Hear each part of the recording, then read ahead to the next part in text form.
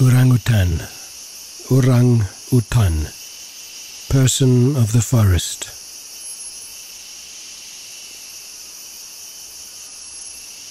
There is much to say of the soul of this animal, this almost human.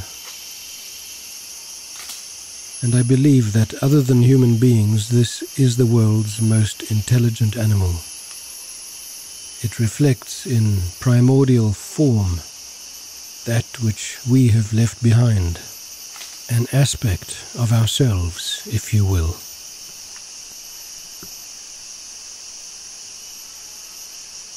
And when we bandy the concept custodians of the animal kingdom around with a implied pride, we must remember that it is not an ownership, it is a partnership.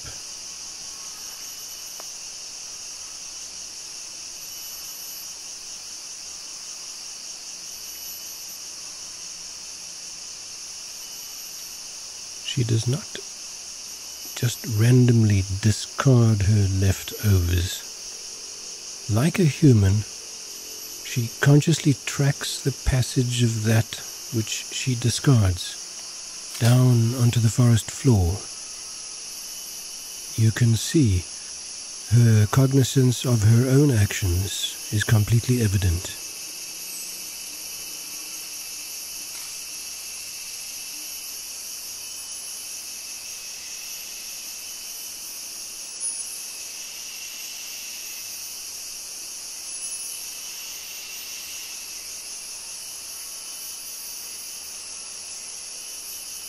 The colors, the shapes, the forms, the perfect congruency of nature. And so that is the way I thought to look at this. Not for any other reason but to fill my eyes with the sheer wonder and beauty of it.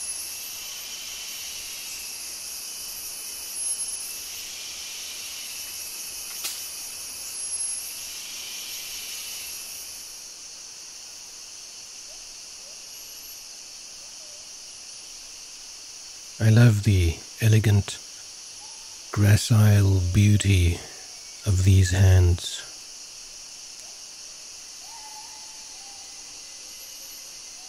As our time in Indonesia comes to an end, I find it more and more difficult to express in words the wonder of my relationship with these creatures.